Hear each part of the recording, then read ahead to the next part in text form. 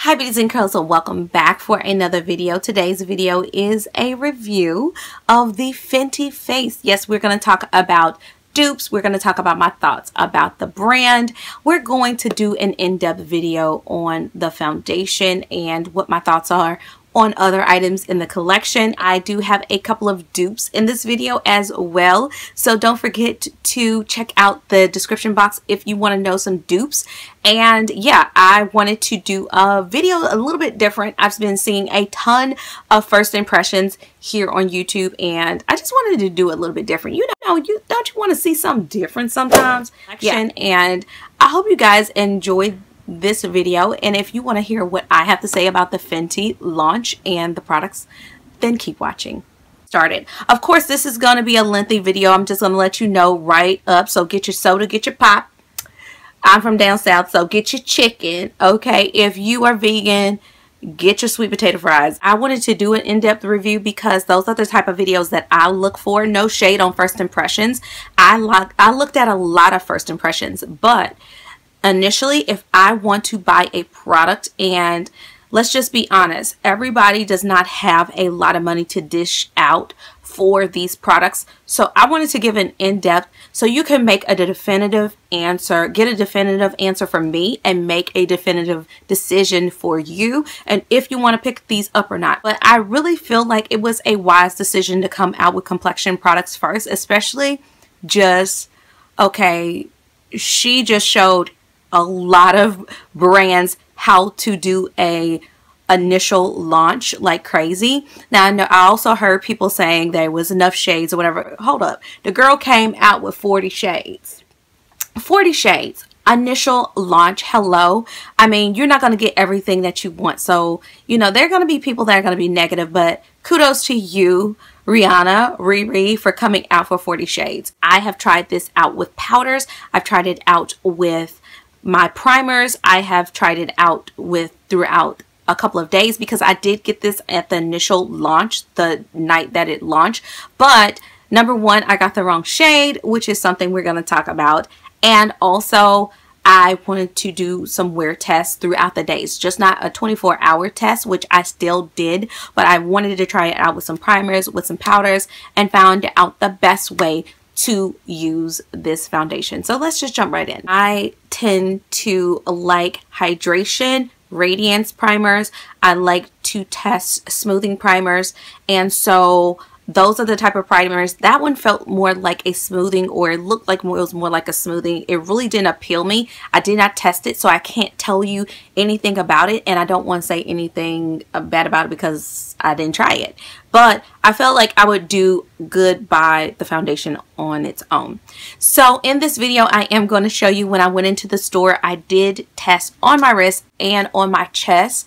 I, uh, I tested three shades on my chest and I tested four to five shades I believe on my wrist and I'm one of those that once I see a product and it uh, dries down I can tell you what my shade is and in terms of the foundation I highly highly highly recommend you going into the store I bought the shade based upon the description in the uh, on the Sephora website I picked 360 that was way too dark for me. Not way too dark, but um, whatever shade you think you are, I would say go two shades lower. Now, I hope you have a Sephora close to you. If you don't, find somebody here on YouTube that's maybe similar. Now, when I saw Rihanna's pictures, I already knew that we were going to be close in shade. She wears 330. When I went on the uh, when I went into the store I tried 330 I tried some other shades higher and lower and 330 was still my perfect match. I'm going to show you application with the sponge and the brush in this video.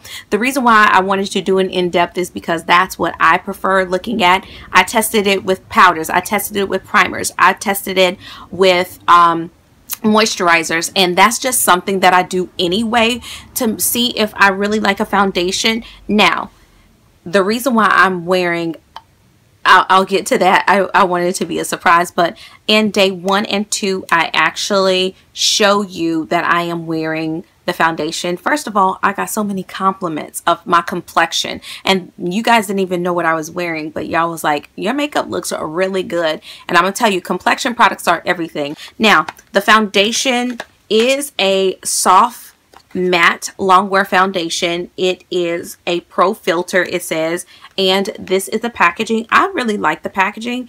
To me, this is reminiscent of Kat Von D for some reason on the outside. To me, that's it just that's what it reminds me of. But on the inside, so this is white. The handle is white. It is a frosted glass bottle and with the white top. Now, I don't particularly like this packaging. Honestly, I wish she would have kept the packaging that's on the outside and put it on the inside. Even if she had this frosted bottle to put this as black, I feel like white just totally brings a lot of attention to how messy this is going to get.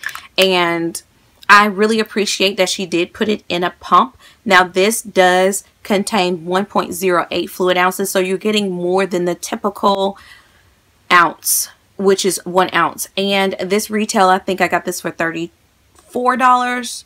Uh, I think this was 40 $34. I'm going to put all the specs on the screen so you can see it. But I feel like for this to be considered a high end, it is still a reasonable price for a foundation. That's the other thing because I have the Giorgio Armani Luminous Silk and that retails for 62 I think they went up in price. I think it's now 64 I know the Power Foundation, Power Fabric is 64 So for this to be only $34, I feel like that that was a really good uh, sell for this. I feel like that's one of the reasons why women of color went crazy for this is because it was the price and the shade range. Those are two things that I feel like was optimal in this launch for Rihanna. So I really do enjoy this. The packaging, I'm not a fan of, but what's inside? Lord have mercy. I love this foundation. I will let you know this right now. Now, in day one, if you notice, I, I used, I wore the foundation for about seven hours and it started to break, uh, break up around my nose. But a lot of foundations that are of that soft matte to satin uh, where it dries down and my oils come through. I don't have that problem with a dewy foundation because it's just dewy all over and you really can't tell the difference of my oils breaking through. But with soft matte and with a satin to soft matte to matte, I have that problem. So I've been using the Becca. If you notice in day two, I show my nose and it did not budge. I love this. I really do enjoy this and it made my nose flawless. It made my, my face was flawless. Y'all didn't even know what I was wearing the other day and I was wearing this. Now, I want to tell you, so I want to tell you that a close dupe to this and it's very comparable is the NARS Weightless Luminous. Now, I have this in a project pan currently. This is the NARS All Day Luminous Weightless Foundation. I love the finish. Both of them to me have like that soft matte that is still like like skin luminous, especially with a beauty blender. These are buildable. These are medium, good medium to full coverage. I really like I really would say that these are a good medium. I highly recommend this being a medium on you. If you go to full coverage, both of these can get cakey on you. Um, I have to use beauty blenders with both of these because I notice with a brush, they settle into my fine lines and they just sit there. Okay. I could put a primer on in my fine lines, but I have learned both of these perform better when, and they both have that liquidy, serumy type of finish. Let me, I'll push, put a pump. And both of these say that you need to, you need to shake well. Now, you can see the difference. Okay, you can see the difference in the shade. As you can tell in the application, when you see me do the initial application of the Fenty, when you see me put this on, it does even when it dries down it does it stays the same color. Now when this dries down it goes darker. So that's the reason why I highly recommend you going in to Sephora and trying this.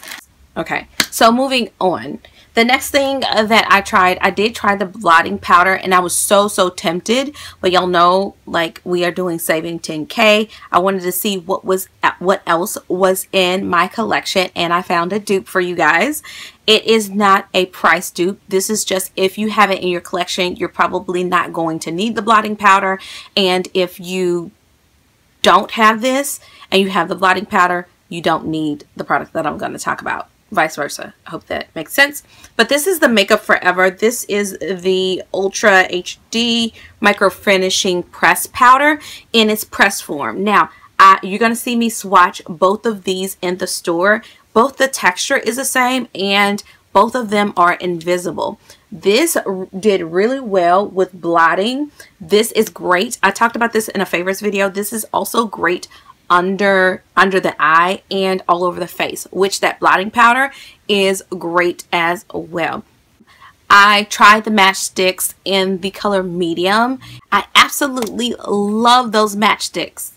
I do. I love them. And I'm going to pick them up but I also have some contour sticks, some sticks by Iman that I'm actually testing right now. So I did not want to pick those up. And I really made a decision. I was like, you know what? I'll go with the foundation and I'll get the gloss. But the highlighters I did not need, although those are so gorgeous. And if I decide later, I might pick uh, a couple up. I love Hustla Baby and Mean Money. That was one of my favorite. I also loved what is it, Moscow Mule. It's the deepest shade, but I felt like that would be a great blush, but I'm not in need of blushes. So I love the highlighters a whole lot. Trophy Wife I would use realistically as an eyeshadow. I don't go for a high beam, but I also have a couple of dupes for the trophy wife if you have those items and I also have a dupe for the gloss. I saw this and I was like this is trophy wife in pigment form. This is from actually this was from Em Cosmetics when uh, Michelle Phan her initial launch with Em Cosmetics.